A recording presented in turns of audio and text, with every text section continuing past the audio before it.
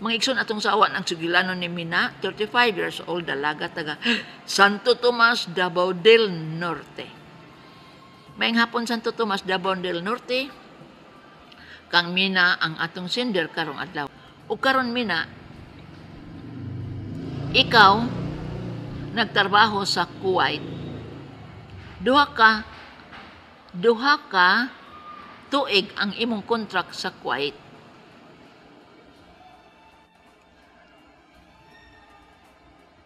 Usa ka adlaw ni ana. Samtang dito ka sa Kuwait. Mialsa ikaw og duha ka container nga gasol. Gibadlong ikaw sa imong makauban nga bugat ra kana mina. Apan matod nimo kaya nimo. Sukad ni adto nakabato na sakit sa imong likod. Wa nay hunong ang pagngut-ngut sa imong kagong-kagong sa likod grabe na ang kasakit ug dili ka na makatarbaho og tarong dinhi mihukom ikaw nga muuli dinhi sa Pilipinas Pag-abot nimo sa Pilipinas, gihilot ikaw. Walay epekto ug walay olibyo. Mihukom ikaw pagpangonsulta sa doktor. Giatagan ikaw daghang resita apan walay alibyo. Misuway ikaw sa tambalan apan matod sa tambalan gibarang kuno ikaw gihatagan kanyag daghang mga herbal walay alibyo. Nangita kag sikan opinion, nangita kag laing doktor. Ug kining ikaduhang doktor naka-diagnose nga kining sakit sa imong kagong-kagong nataptan ka og tuberculosis sa bukog sa kagong-kagong. Misakit ang imong tiyan gipa ultrasound ka sa doktor ug na di ay bugon sa imong itlogan. Ang imo karong sakit sa likod nag-inanay nagkanaog sa batang ngari sa gusok ug ngari sa imong kilid. Kini ang sinugdanan sa kang mina nga pag-alsa sa bugat nga gasol. Ang bukog ni sa kagong-kagong ni Mina na anaday problema? Nataptan og tuberculosis paglikoy pa sa kagong-kagong sa bukog ni Mina dinhi na sinati niya ang pagsakit sa iyang likod dungagan pagayod sa sakit sa iyang tiyan kay naa di ay bugon sa iyang itlogan. Ug karon mo na ang sakit sa batang ngari sa gusok sa dughan ug ngari sa kilid. Kini ang sugilano ni Mina. Doktora ngano man nga lisod naman pagbakod. Bakuro naman ko sa akong mga parente.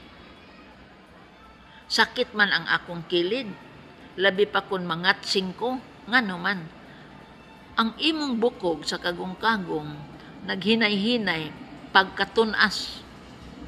Ang bukog sa imong kagong-kagong nataptan og tuberculosis ug kini karon mura na siyag. Kining fragile kana bang mura na siyag? Nalata.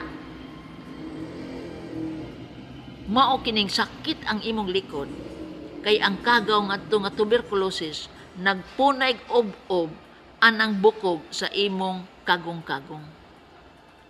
Ug ang TB karon di ana parong sa kilid sa imong kining imong ribs bukog sa dughan. Ning ding lakaw na sa to pa ang tuberculosis germ nagpahigayon na pagsubay sa kilid gikan sa likod ning agi na diri sa kilid nga gusok Timan an mga igsoon nga ang kagong-kagong sumpay ka na sa dughan sa may gusok. Ikaduhang pangutana. Kining sakit nga tuberculosis, doktora, matambalan ba? Ang tubag, yes, matambalan na karong bagong panahon. Gikan sa 1990 hantod karon wala na mamatay tuberculosis kay nakamugna na kita tambal lukop kalibutan.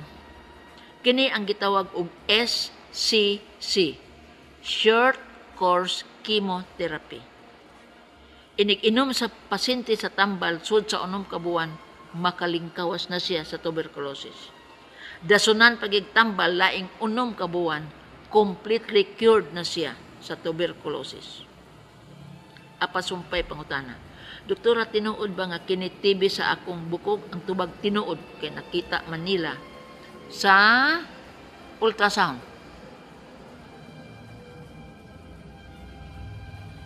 Ikatulong pangutana. Sakto, doktora, sakit og hapdos ang akong tiyan. Doon na sa nanurok sa akong panit nga lagom-lagom, dagko ra ba? Nga naman. Ang sakit sa imong tiyan, tungod na stambal imong gipanglamoy. Ang hapdo sa imong tiyan, tungod na bugon sa imong itlogan. Ang kanang nanurok sa imong panit, tungod kay nagkuwang ka na gyud og vitamin C. Kanang lagom-lagom, mawagtang ra ka na. Kung mutumar ka og vitamin C ug iron ipakita ka ng lagom-lagom sa imong doktor. Kay mo resita dayon siya vitamin C ug iron. Ug kanang tanang lagom-lagom sa imong panit mawagtang. Katapusang pangutana, doktora, nahadlo ko kay ang uban moingon nga mo cancer ko no akong bukog. Ang tubag ayaw og tuo. Kay dili ug dili gid mo cancer ang bukog kung kini nataptan og tuberculosis ang kanser sa bukog, lahi ang simptoma. Ang TB sa bukog, mao ni imong simptoma. Ang kanser sa bukog, adto man siya mo focus sa amay sa bukog. Ang TB sa bukog, ang kagaw, ub-ubon man ang bukog. Lahi na sila tirada. Ang kagaw sa TB, magpunay usap anang imong bukog hangtod malubo. Unay sakit nila. Kanahan sila mo ub ub bukog. Ti abay bukog no nya kagaw ra na. Pero dili lungan. Ang pagpunay kiskis sa imong bukog hangtod kanimo humok ug mo na iyang kanon. Apan sa cancer dili dili mo kaon sa bukog. Ang amay sa bukog, ang kinabuhi sa bukog, mao'y suyupon sa cancer. Mao nang mamatay ka. Eg tuo nga mo cancer na ha, kay di na mag-ipon ang tuberculosis o cancer, lahi ang ilang pangandoy o pamaagi sa pagpatay sa tao. Og TB germ di na makapatay og tao karon kay nakadiskubre na tag tambal. Gawas kon ang pasyente adto na dangop sa doktor kung nagsugpa na. Kay unsa may tambalan sa doktor nga wa na may suod ang baga. Ang baga clear na ngano man nahurot nagsugpa. Ngano man magsugpa? Uy, ang lungs man anay mga dugta, mga tangtang, uban sa imong sugpa. So, dili gid maadto sa doktor kung nagsugpa na ha? Kay delikado na na. Mo adto tas doktor kung kanay bitang muluwa nagdugo kana mo adto ka doktor adto is doktor sa panahon nga magluwa og dugo kay di gyud ka mamatay kay ang pagsugpa ba mga igsoon no katulo ra ka mo sugpa kun grabe ang sugpa di ka mabuhi uy kay muluwa man kag lima ka litro nga dugo unya ang atong dugo kun lima ra na ka litro kanang kita man pasyente magsugpa bitaw usa ka palanggana nga dugo matay siya oy. Iti abay usa ka palanggana, labaw panas lima ka litro. Unang ang sugpa gikadlukan. Kay mo patay baya. Kay lima ra lagi in taon ka litro ning atong dugo nga nagsirkulit sa atong tibok lawas. Kung imo ka nang isoka, sus 30 minutos sa anang sugpa eh. Abot na naglima ka litro. Unang likayan gid ang sugpa. Magluwa ganig dugo. Kita deg sentro kay naay tambal sa sentro akong pamayag medical gyud una mina na kay karaang infection sa baga pero walay simptoma. Munang wa jud ka kabantay ug wa ka magduda nga masakit kag tuberculosis. Apan diha na ang TB germ sa imong baga batan-on ka pa. Karon 35 years old ka naman. Ikaduha. Sulagma ang TB germ dito sa imong baga misakay sa sirkulasyon sa imong dugo, sulag mausab nga kining kagawa nasangit sa bukog sa imong kagong-kagong. Kini gyud ang tinud-anay nga biyahe sa kagaw gikan sa imong baga ngadto sa imong kagong-kagong. Ikatulo, mi standby ang kagaw dito ug gihinay-hinay niya og ob-ob ang imong mga kagong-kagong. Sa wa pa matunas ang imong kagong-kagong, mi alsa kag duha ka container sa gasol. Ning likoy ang usa ka kagong-kagong. Ug sama sa domino principle, mikuyog ang ubang kagong-kagong ug kini ang tinubdan nga dili ka na kabakod karon. Ikaupat, mo report gyud ngadto sa Santo Tomas District Hospital. Mangayo og tambal niadtong short course chemotherapy. Hatagan kag permirong permirong karton balor unom ka buwan. Pabalikon ka dito. Hatagan na sab kag laing karton balog unom ka buwan. Inigbalik nito wala nay kagaw nga TB sa imong lawas. Ikalima, ayaw give up kay dili na mamatay ang mga tao karon sa TB kay andam og tagana ang Department of Health pagpanalipod sa tanang Pilipino.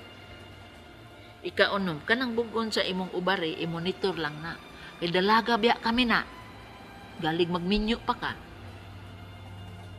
Dili lang sana hilabtang bugon sa itlugan. Kay makaanak pa ka. Ug makaanak na kag usa duha, pwede na nang imong itlugan atong tangtangon. Di lang sa nato hilabtan karon kung naa kay tinguha pagminyo aron makapanganak. Tuon na lang aron madali ta. Pwede nagtangtangon unyag maminyo na kag makaanak kag usa duha. Tangtangon nato ng imong itlugan kay nagdaan nagdangan kon pasagdan. Mga igsoon, salamat sa pagtubay sa tulumanon hangtod sa sunod sugilanon din higapon sa kining akong suliran.